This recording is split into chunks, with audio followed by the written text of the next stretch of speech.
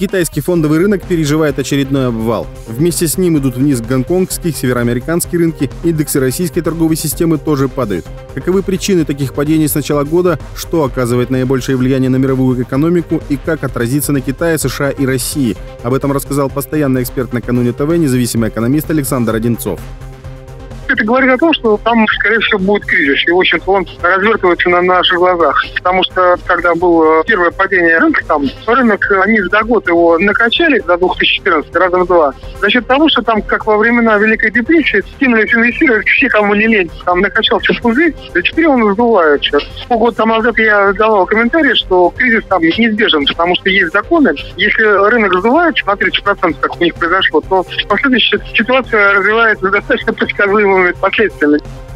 Эксперт указывает на схожесть показателей китайского кризиса с Великой депрессией. В Китае кризис перепроизводства, основанный на внешних долгах, а также падение импорта и экспорта. Фондовые рынки США тоже падают, но не так сильно и имеют значительно меньше риска впасть в кризис. Наступление возможной рецессии в мировой экономике эксперт связывает именно с замедлением китайской экономики.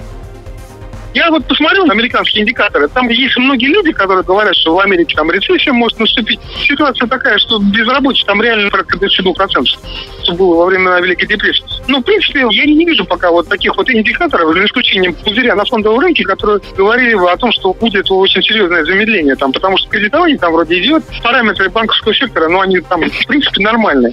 Китай, я думаю, что ситуация будет очень тяжелая. Тоже они там приостановили, там что-то какие-то там меры. А в результате, когда инвесторы понимает, что ну не может он расти, все побегут. Я так полагаю, что если китайская экономика замедлится, то, соответственно, мировой экономике вообще может наступить рецессия.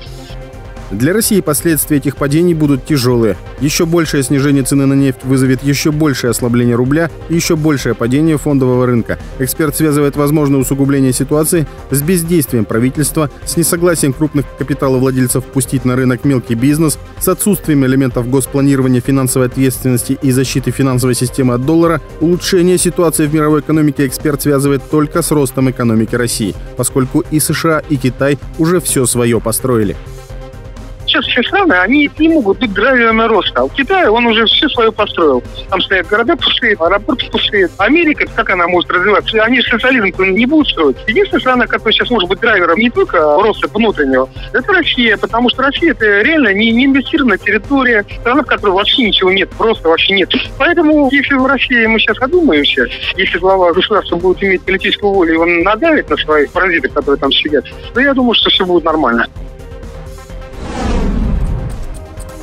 В эфире была рубрика «Экспертное мнение» специально для Накануне ТВ. Подписывайтесь на канал Накануне ТВ и смотрите другие видео из рубрики «Экспертное мнение».